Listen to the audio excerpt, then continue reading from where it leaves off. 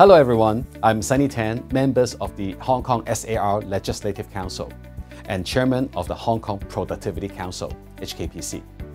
We're excited about the series of measures proposed in the Policy Address 2024 by our Chief Executive, Mr. John Lee, which covers new productive forces, SME support, and economic development.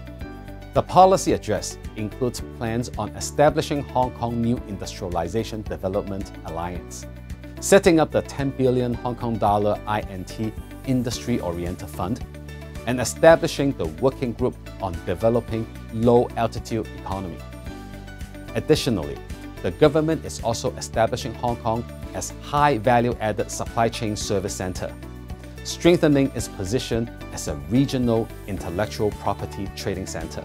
Plus, the chief executive also announced the injection of additional 1 billion Hong Kong dollars into BUD fund, as well as expansion of the e-commerce easy program in supporting our SMEs in Hong Kong. In addition, the policy address highlights the importance of developing new energy and green transport, integrating development of education, technology, and talent, and enhancing the admission schemes for talent and professionals, as well as developing the Northern Metropolis with an industry-oriented approach. HKPC fully supports the reform proposed by the Chief Executive. We are ready to roll up our sleeves in implementing I&T policies and speed up Hong Kong's transformation into an international I&T hub. Earlier last week, the Chief Executive visited HKPC and acknowledge our achievement in new industrialization and SME supports. This reflects the government's strong commitment to I&T and local industry development.